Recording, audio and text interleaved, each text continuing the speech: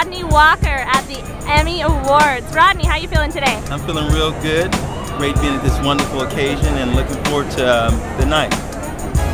All right, all right. What's your what are you looking forward to most tonight? You know, I'm looking forward to just having a good time, getting a chance to see the wonderful people that are going to be receiving some of the awards and being able to just enjoy the occasion.